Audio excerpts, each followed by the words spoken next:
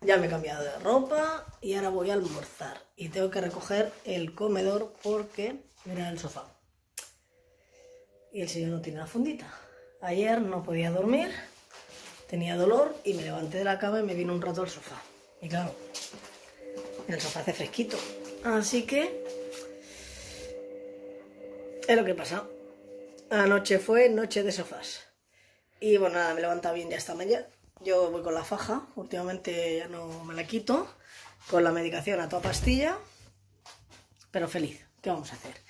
Y ahora me voy a preparar mi almuerzo, que sabéis que yo recién levantada soy incapaz de tomarme nada y me lo tomo ahora cuando vengo de clase. Así que ya he puesto la lavadora y me voy a hacer el almuerzo y almorzar.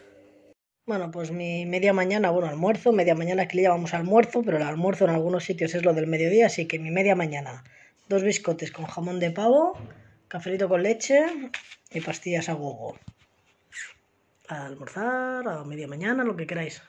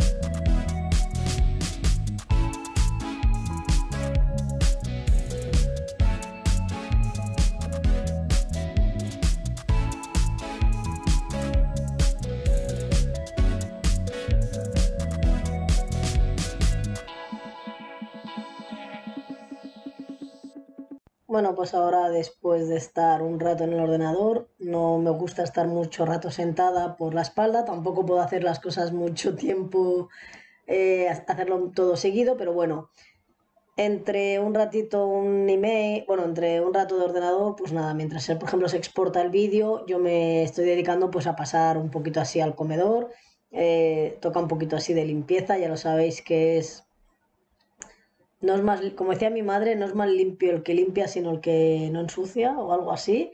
Y bueno, que si se mantiene todo limpio, si se hace cada día un poquito, la casa se mantiene limpia. Hoy hace sol y se calienta todo con el sol, pero bueno, es a ver lo que duran los días de sol porque se avecina tormenta. Dicen que va a llover y que va a llover bastante. Pues aquí estoy con mi aspiradora, súper contenta con ella, la verdad, porque me deja el suelo, las alfombras, me deja todo muy bien. Hombre, me gustaría tener una, una aspiradora, una fregadora de estas como tipo la Rumba o la Conga o la Cecotec, pues por supuesto que me gustaría, porque le das al botoncito y se limpia todo solo, pero no la tengo, tengo que hacerlo yo. Y quizá, bueno, pues quizá no la tengo para eso, para tener que hacerlo yo y así moverme si tuviera que a lo mejor que estar con la escoba y el recogedor y todo, pues a lo mejor sería más, más, más tedioso. Pero bueno, la aspiradora la verdad es que lo hace todo muy rápido.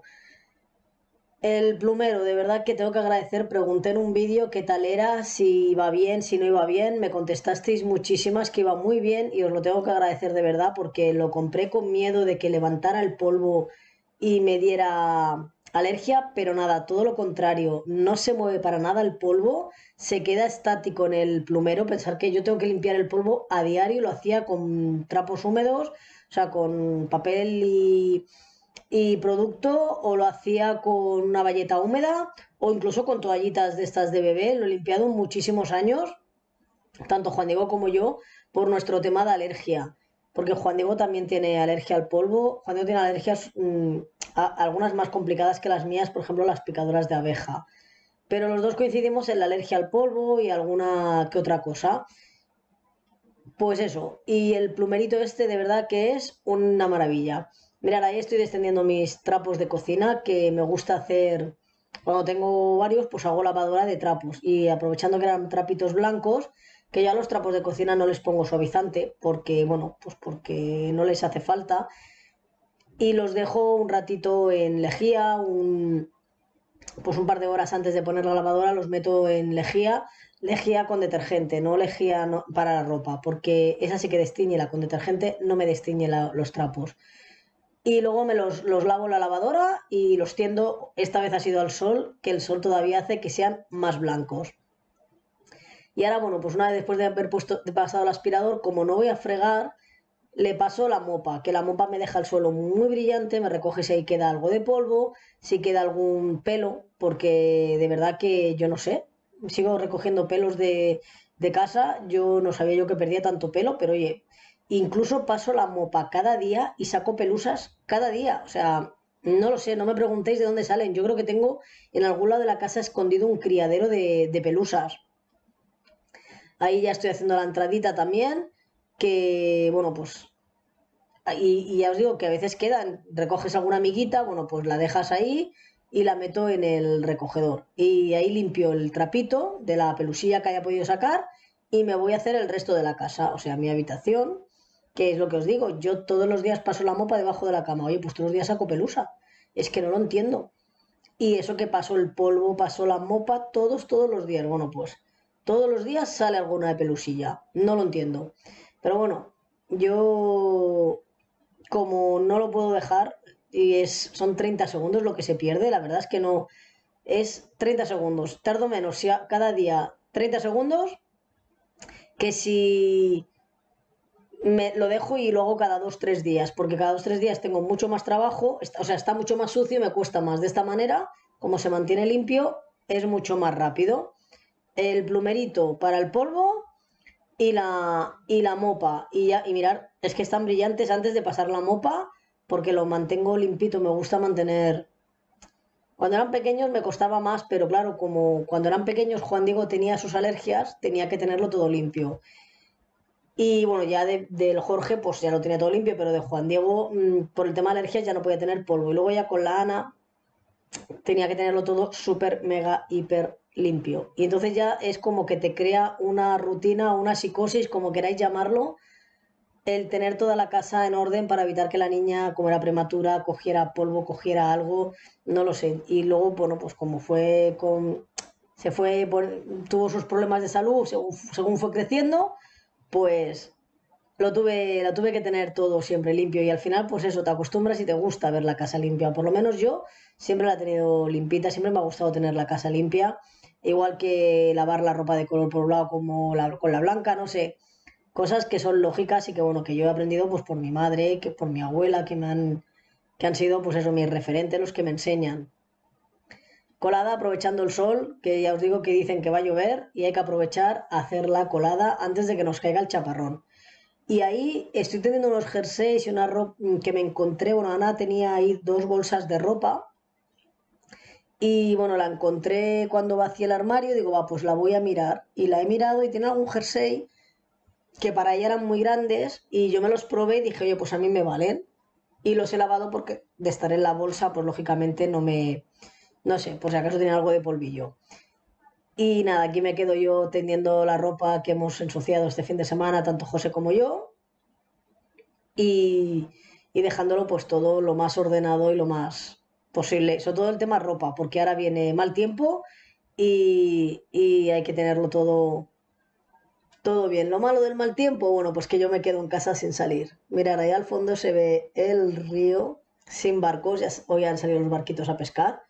Y ya os digo que muchas veces, sobre todo de noche, que alguna noche que no puedo dormir, me gusta asomarme y ver los barquitos y, y a veces sí que me he ido, eh, ahora antes cuando vivía al lado de la playa, me gustaba cuando no podía dormir o me pasaba, no sé, no estaba bien, me bajaba a escuchar el mar y me relajaba muchísimo, muchísimo.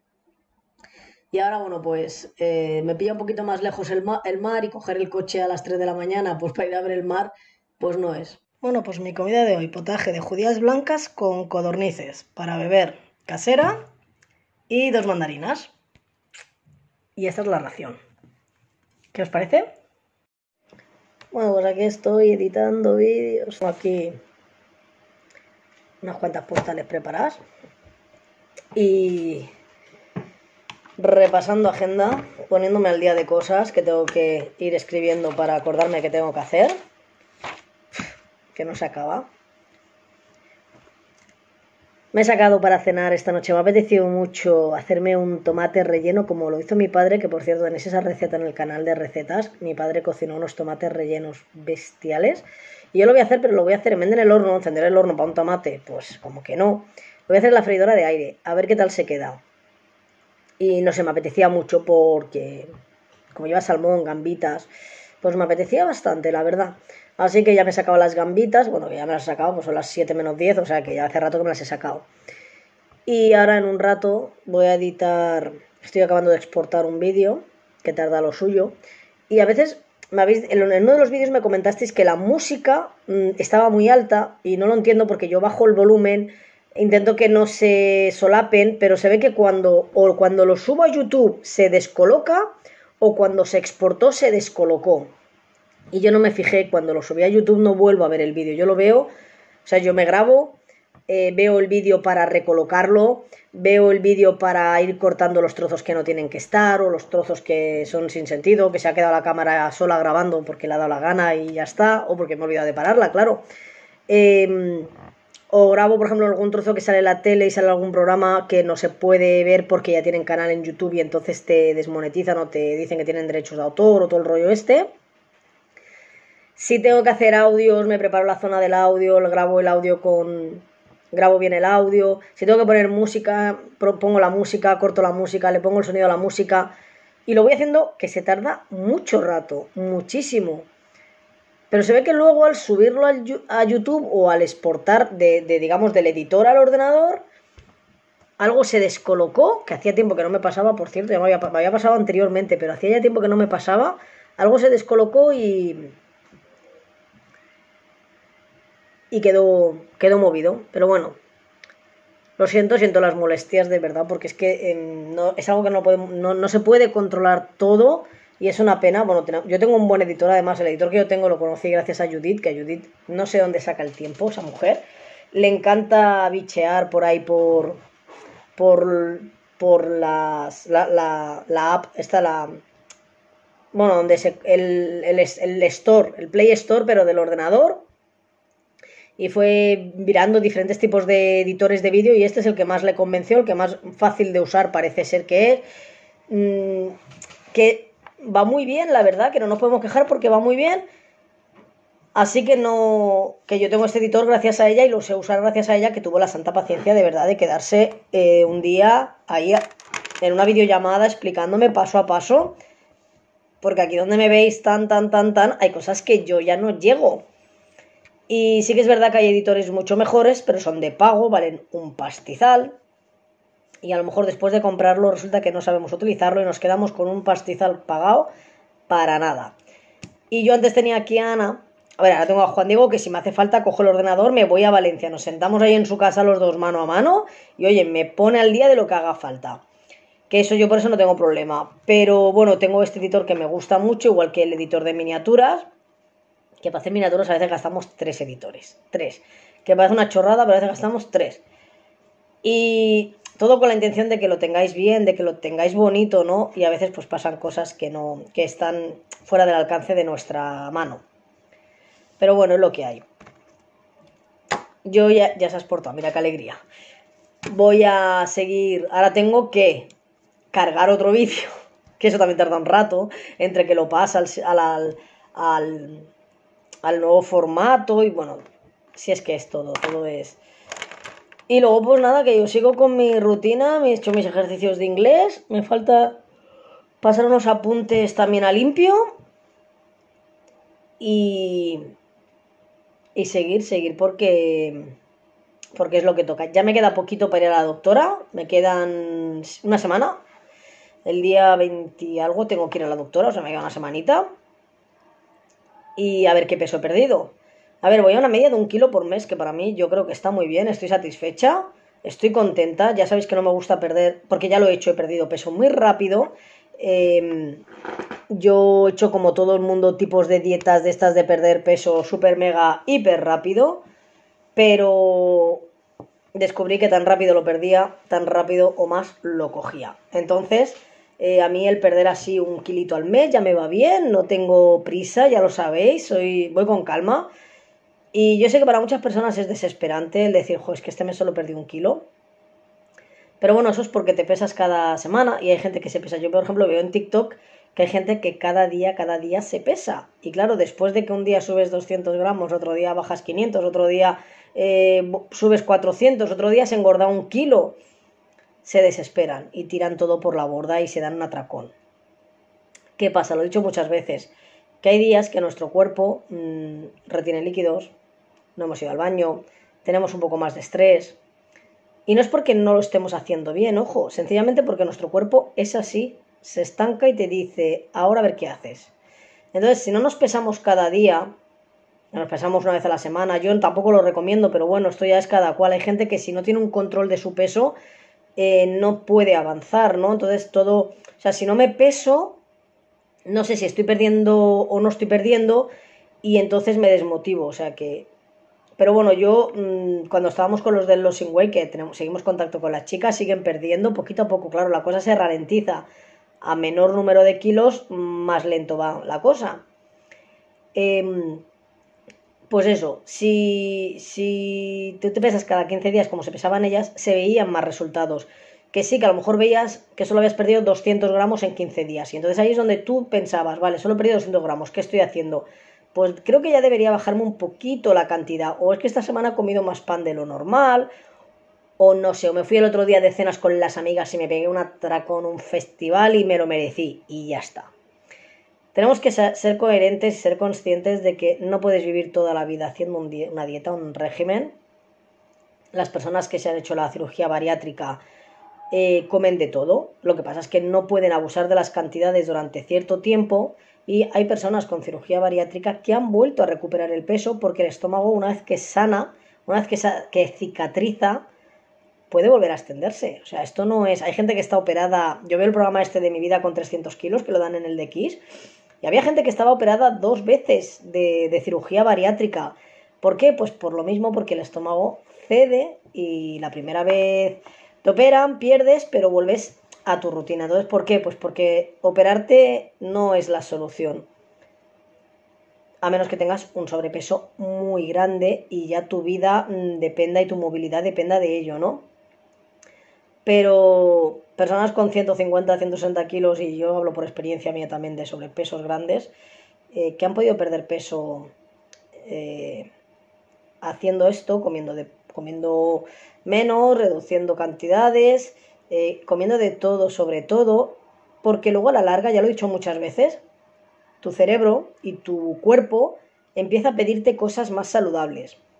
Y si no, pues ya tengo vídeos en el que os explico cómo coger una dieta, que además lo subí el domingo pasado, eh, ¿Cómo coger una dieta de estas de un nutricionista? Que por cierto, si hacéis una dieta, si queréis hacer un régimen como toca con un especialista, no hagáis cosas a lo loco, no os tiréis a los batidos a las pastillas, iros al nutricionista. Y si os, y si os cansa esa dieta, darle la vuelta. Si al fin y al cabo ellos te dicen que tienes que comer pollo y verdura, pero no como. Lo que lo hacemos todos es muy práctico. Pollo y verduras, pues una ensalada y pollo a la plancha. Cuando vamos a hacer unas recetas deliciosas, increíbles, y que nos sirvan para toda la familia, porque ese es el punto clave de, un régimen o una dieta o una forma nueva de alimentarse. Cuando estás solo, yo ahora estoy sola, podría alimentarme de cualquier cosa, pollo a la plancha, pescado hervido, eh, ensaladas. Yo podría hacer eso, claro, porque estoy sola, porque no tengo a Ana, no tengo a nadie que tenga, eh, que tenga que hacerle una comida diferente, ¿no? Pero cuando estamos todos en casa y hay que hacer dos, tres comidas, ¿cuánto tiempo podemos aguantar?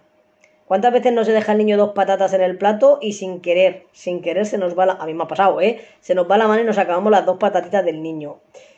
Y eran patatas fritas y ya lo hemos tirado todo lo que hemos hecho en todo el día por dos patatas, o pensamos que por dos patatas lo hemos tirado todo por la borda, o quien no le ha hecho un bocata al niño de nocilla y le ha limpiado así el bordecito del pan y se lo ha comido. Yo lo he hecho y no me avergüenza decirlo porque es algo que, que haces y luego piensas, ya lo he hecho mal, no sé qué, y al final te acabas comiendo un bocadillo, pero si no, si no lo has hecho mal, te has comido un poco de chocolate, ya está, disfrútalo. No lo tires todo por la borda, no te comas un bocadillo. O quién no le apetece aquí por lo menos los jueves, que es el mercado, tomarse unos churros con un cafelito con leche calentito, o con un chocolate. ¿Por qué no? Pero si antes te comías seis churros, ahora te comes dos y te das el gusto. Y tu cuerpo recibe todo. Y no tiene que renunciar a nada para que el día que no se lo des, tu cerebro diga, quiero más, quiero más, dámelo, dámelo, que ya lo has cagado. Y sé que soy muy cansina, que me repito mucho, así que hasta aquí lo voy a dejar. que luego os enseño mi cenita con mi tomatito relleno, que va a quedar increíble. Bueno, pues como sabéis, mi padre estuvo pasando una temporada aquí conmigo y cocina muy bien. Y una de las recetas que nos hizo son unos tomates rellenos de gambitas y salmón y me encantaron. Entonces digo, pues me los voy a hacer para mí, para comer hoy. Así que lo primero que voy a hacer es cortar la cebolla bien pequeñita, porque los voy a tunear un poco.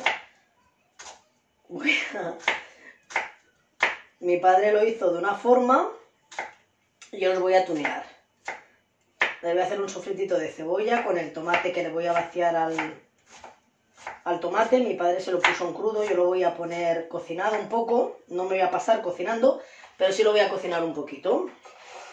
Entonces, mientras se me va rehogando eh, la cebolla, yo voy a vaciar el tomate, le voy a quitar así la tapita, que luego no la tiráis porque luego hay que ponérsela. Y como tengo esta cuchara que se llaman sacabocaos, que sirven pues para esto, para vaciar eh, yo la utilicé para vaciar una calabaza de Halloween. Y desde entonces, bueno, la compré para eso, pero la he utilizado un montón. Porque la verdad es que va súper bien. Y lo que sí que voy a mantener es el salmón y las gambas. Pero como no tengo gambas cocidas, mi padre lo hizo con gambas cocidas, yo voy a hacerlo con gambas peladitas y con el salmón ahumado igual que él. Que además, yo es que me encanta el salmón en todas sus eh, virtudes, como queráis, todas sus maneras de cocinarse. Me da igual que esté ahumado, que esté... Vale, ya tengo el tomate vacío. Ahora ya vacío el tomate, antes de manchar la tabla, voy a cortarme el salmón y luego ya puedo cortar el tomate y las gambitas aquí me dejo yo mi tomatito, ahí a un ladito. Y aquí tengo mi salmón, que por cierto es que me encanta. Podría hacerse con trucha,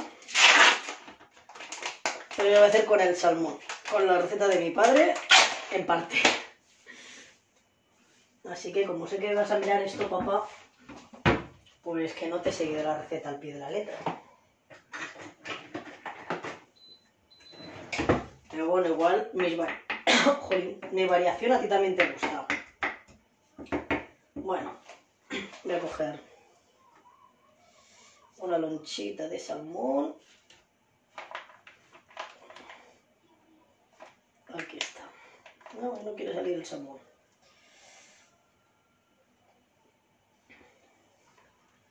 Pues hago solo uno porque estoy sola y la verdad es que tampoco quiero hacer mucha cantidad. Vale, de salmón ya está bien. No hay que ser racanos, pero tampoco poner demasiado porque si no el, el, salmón se come todo el sabor de, de todo, ¿no? De la gamba, de... Vale. Pues aquí va el salmoncito. Qué rico. Me gusta tanto el salmón como a mí, además es muy bueno para el corazón y todo, tiene omega 3 y no sé cuántas cosas más. Voy a picar el tomate bien picadito.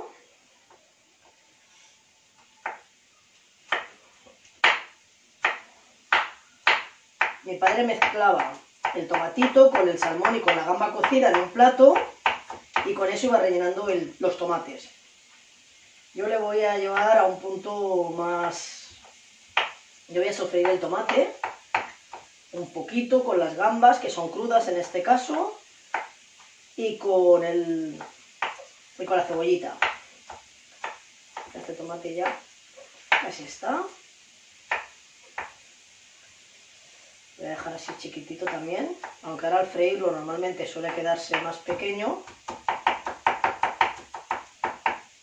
Se deshace y tal, pero bueno, así que la bola lo saca a bolas. Esta cuchara lo saca a bolas. Bueno. Vamos a añadir el tomate para que no se me no se me queme la, la cebolla. Ahí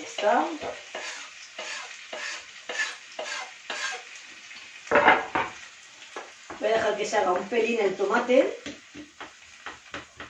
Ahora le echaré la sal y todo eso, no me pasaré porque el salmón ya sabéis que ya viene alineado.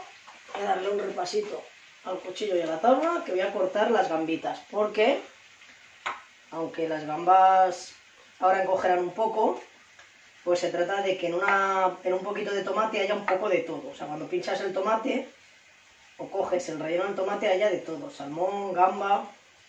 Entonces si la picas pequeña, pues es más fácil. Vale, esto se ha quedado ahí. Listo. Pues ya lo tengo todo. Ahora voy a salpimentar este sofrito de tomate y cebolla.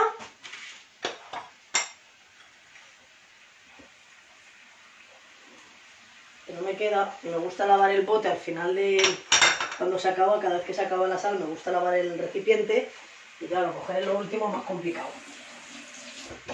Vale.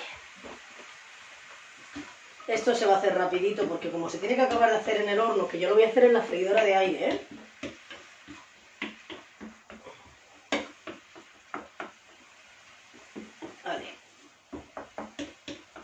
Vamos a darle un par de minutitos y continuamos. Bueno, pues aquí está la cenita, unos champiñones, un tomatito relleno, un par de tiras de pimiento asado y mi yogur esta noche es de kiwi, bífidos 0%. Y para beber, pues lo de siempre, casera 00. Que aproveche. Bueno, mira, no sé si con la cámara se aprecia, pero me ha salido un ronchón ahí. Pero bestia, bestia. Donde están los dos lunares. Y me sube el picor para arriba para el brazo. Ay, Dios mío. Pues nada, me ha dado algo Supongo que habrá sido al fregar los platos que me habrá salpicado agua y me ha hecho reacción, pero ahí se me está hinchando. No se ve el puntito ese rojo y se está poniendo cada vez más rojillo. Pues eso es lo que es tener alergia. Dérmicas. Que te mm, salpica y te pica. Bueno, mirar, ahí también se me está poniendo roncha. Voy a tomarme pastillas de la alergia a casco porro porque ya me empieza a picar todo y a lo mejor también es un poco psicológico, ¿no? Pero pues eso, que me empieza a picar los brazos mucho, así que no creo que sea solo del agua. Algo he tenido que tocar o algo he tenido que... No sé, igual es algo que he comido, que me ha hecho reacción, porque esto es así. Cuando se tienen alergias no se sabe nunca cuál de ellas te puede dar reacción. Claro que estoy pensando y he comido lo que siempre como, salmón, gambas, el tomate, y tomates como todos los días, que tomo cherries, bueno, este no era cherry, pero era... y me está picando. Uf, me he tomado dos pastillas de alergia, pero se me están poniendo ronchas en los brazos. Pero bueno, y ahora me pican las piernas, pero claro, ya, ahora ya es psicosis, ahora ya me empieza a picar todo y me veo ronchas incluso hasta donde no las hay. Si veo que no mejoro, pues lógicamente me irá a que me pongan un orbasón intentaré evitarlo porque no me apetecería salir nada a estas horas de la noche. Pero bueno, por aquí estoy viendo el, vídeo de Judith Iseki de hoy y ya me voy a la cama. En cuanto acabe el vídeo, voy a ver si las pastillas me hacen efecto y me calmo. Y me voy a dormir. Y mañana más y mejor, porque ya estoy a estas horas, ya empiezo a estar cansadita. Y nada, José ya me ha llamado también, que está acostado. Ana ya me ha llamado, que se ha cambiado el aparato. Juan Diego, que han sacado que han hecho un trabajazo en grupo para la universidad y, les han sacado la mejor nota de su grupo, ha sacado la mejor nota. Así que nada, hoy todo son buenas noticias. Me dijo Jorge que está reventado, pobrecito mío. Y, y nada, y mi nieta que estará tan guapa como siempre. Así que hoy todos son buenas noticias, son todo alegrías. Ana le dan las notas, cree que el día 19, yo no entiendo cómo no se entera de estas cosas, pero bueno, es que aquí te lo decían todo el primer día y allí por lo visto no se lo han dicho o no se ha enterado. Y... o no se quiere enterar. No, no, porque ya se acabó las notas, ya lo sabéis, Ana es una niña de no muy estudiosa de sentarse muchas horas, pero sí una niña que tiene la facilidad de aprobar. ¿Qué vamos a hacer? Que a mí no me gusta esa facilidad, ¿eh? tengo que reconocerlo. Así que, buenas noches, que descanséis y mañana os cuento cómo ha acabado esto de la alergia. Hasta mañana.